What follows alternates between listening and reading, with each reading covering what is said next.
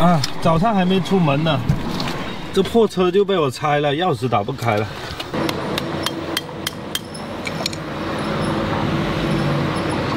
日本的车就是这样，这个东西坏了，这个结构件坏了。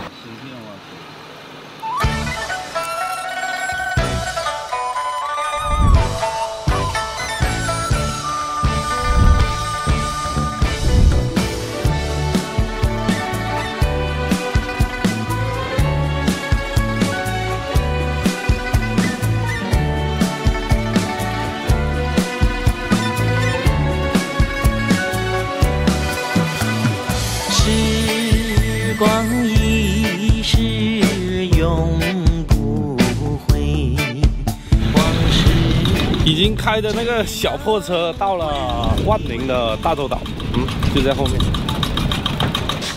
对啊，这个好吃啊！吃完就去世。这刚刚死的。嗯，这里有不好不少好鱼。严厉打击菜霸、沙霸、运霸、鱼霸等恶势力犯罪，这就是扫黑除恶。呃，到了潜水俱乐部，拿两瓶。空气，我跟波哥我们两个下潜啊！你们看一下，每次说带这么多东西，我都快崩了。这是衣服，这是摄影的，这是水下相机，这是脚蹼，然后三脚架，这是潜水的装备啊！盖盖机，刚刚那句老哥，刚刚那句你在哪里刷到的？你那个弄得挺不赖的，我感觉弄得挺好的。你什么时候刷到的？我就散户就就乱乱刷了嘛，我喜欢。关注这个干好事儿，我喜欢。啊，我现在我现在把它弄过去啊。行，这是拿上来一个瓶，太重了。哦，配重没拿，傻不，没拿配重。有没有人拿配重？好，拿一下。我拿了，我给你拿着嘞。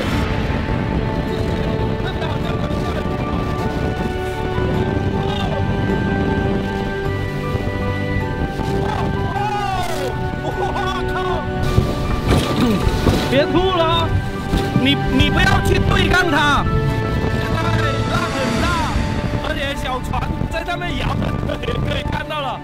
就教大家一个方法，就是当遇到颠簸的时候，无论你在船上还是在飞机上，你不要去对抗它，就是说你的身体和意识内不要去对抗它，你顺着它摇就行了，对吧？你顺着，你看，顺着它这样摇摆。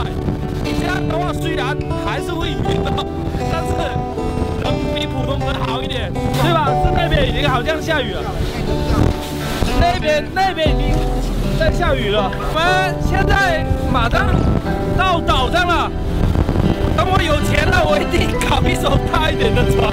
这个船也不错，就是有一点费屁股。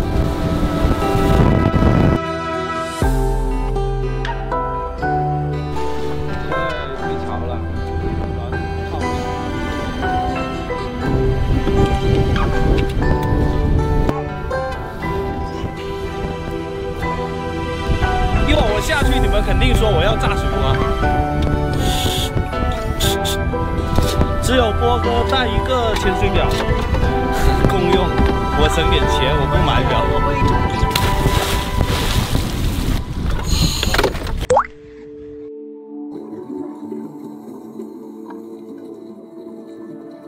水面的浪虽然很大，但是水下整个世界都清静了。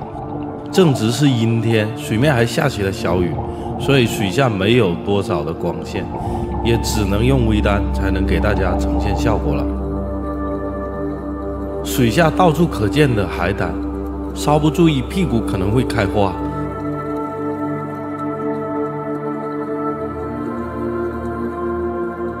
这种叫塔状珊瑚，也叫炮仗珊瑚。红色条状这种叫铅笔海胆，它边上就是海爪。当地渔民比较喜欢抓来泡酒。这是狮螺纹，又名尼螺纹，活体的已经濒危了。海星我们就不用介绍了吧。狮子鱼分四种，目前南中国海有两种。我们现在看到这种是红白黑相间，外表长得很艳丽，没有天敌，正是因为它有毒啊。在摄像机中算是个头比较大的了。长得像脑体的这种好认了吧？这种叫脑状珊瑚，还是活体的。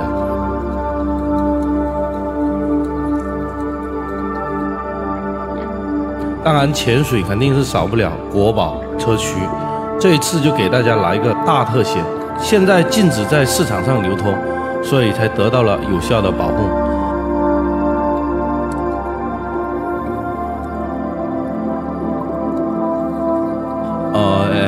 这个这种鱼呢，呃，就叫漂漂亮亮鱼，有领地意识。当侵入它的领地时，它会杠你一下。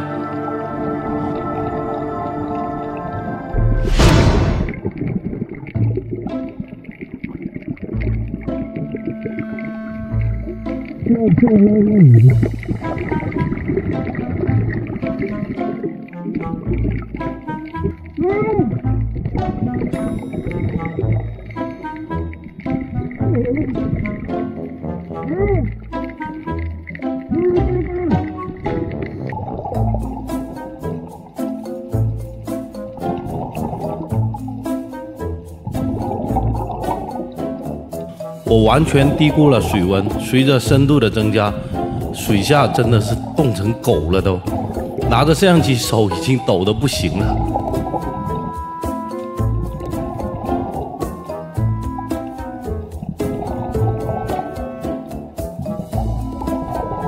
现在是什么感觉啊？冻成狗了。不是我抖啊，是我没办法，它那么厚。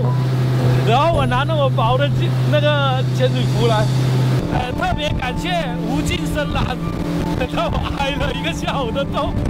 我们现在在检查一下素材，还是有点晃，因为太冷了。这个盒子是装飞机无人机的盒子，然后今天刚好掉水里，刚好还好是带着这个盒子，要不真的飞机报废。